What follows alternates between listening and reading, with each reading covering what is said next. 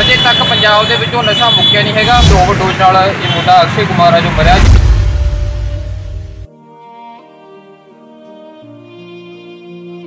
पंजाब सरकार द्वारा किए गए वादे झूठ का पुलंदा हो गए हैं जिसमें एक यह भी वादा किया गया था वो भी गुटका साहिब हाथ में लेकर के पंजाब में चार हफ्तों में ही नशे को खत्म कर देंगे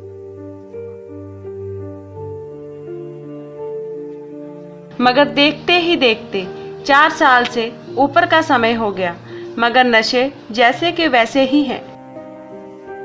वो घटने की बजाय बढ़ते ही जा रहे हैं, जिसकी गिरफ्त में पंजाब की नौजवानी पूरी तरह से आ चुकी है।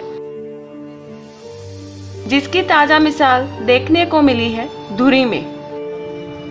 यहाँ पर 26 वर्षीय अक्षय कुमार नाम के लड़के की मौत नशे की ओवरडोज के कारण हो गई, जिसके कारण शहर में बहुत ही शोक का माहौल है, जिसके खिलाफ शहर निवासियों ने इसके बारे में प्रशासन से मांग की है कि वो इस तरफ़ भी ध्यान दे, जिससे कि पंजाब की जवानी को बचाया जा सके।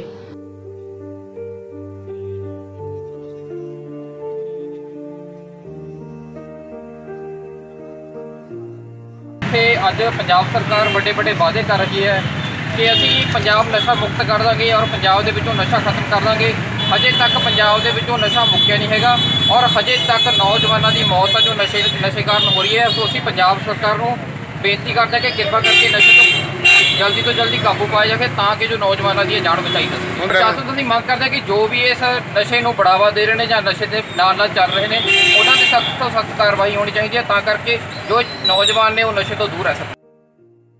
ਮੈਂ ਅੱਜ ਇਹ ਕਹਿਣਾ ਚਾਹੁੰਦਾ ਆਪਣੇ ਸ਼ਹਿਰ ਨਿਵਾਸੀਆਂ ਨੂੰ ਤੇ ਪੁਲਿਸ ਅਫਸਰ ਸਾਹਿਬਾਨ ਨੂੰ ਕਿ ਮੁਹੱਲੇ ਦੇ ਵਿੱਚ ਪੂਰੀ ਗਸ਼ਤ ਵਧਾਈ ਜਾਵੇ। ਇਹ ਜੋ ਖਾਲੀ ਪਲਾਟ ਦੇ ਅੱਡੇ ਨੇ ਇੱਥੇ ਬਹਿ ਕੇ ਮੁੰਡੇ ਬਹੁਤ ਸਮੈਕ ਪੀ ਰਹੇ ਨੇ। ਨਸ਼ਿਆਂ ਵੱਲ ਰੁਝਾਨ ਵੱਧ ਹੋ ਰਿਹਾ ਹੈ।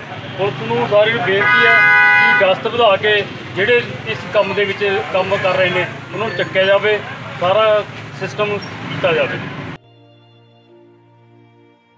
ਇਹ ਉਹ ਨਾਲ ਹੈਗਾ ਜਿਹੜਾ ਅਕਸ਼ੇ ਕੁਮਾਰ ਦੀ ਮੌਤ ਹੋਈ ਹੈ ਜੀ ਇਹਦੇ ਸੰਬੰਧੀ ਅਸੀਂ 75 ਦੀ ਕਾਰਵਾਈ ਕਰਕੇ ਜਿਹੜੀ ਲਾਸ਼ ਅਹ, ਵਾਰਸਾਂ ਦੇ ਹਵਾਲੇ ਕਰ ਦਿੱਤੀ ਹੈ। ਬਿਆਨ ਜੀ ਉਹਦੇ ਪਿਤਾ ਜੋਗਿੰਦਰ ਸਿੰਘ ਜੀ ਦੇ ਬਿਆਨ ਤੇ ਕਾਰਵਾਈ ਕੀਤੀ ਹੈ ਪੋਸਟਮਾਰਟਮ ਹੋ ਗਿਆ ਲਾਸ਼ ਦਾ ਜਾਂ ਹੁਣ? ਪੋਸਟਮਾਰਟਮ ਸਵੇਰੇ ਸਵੇਰ 9 ਵਜੇ ਦਾ ਟਾਈਮ ਜੀ। ਉਸ ਤੋਂ ਬਾਅਦ ਲਾਸ਼ ਹਵਾਲੇ ਹਾਂਜੀ ਹਾਂਜੀ।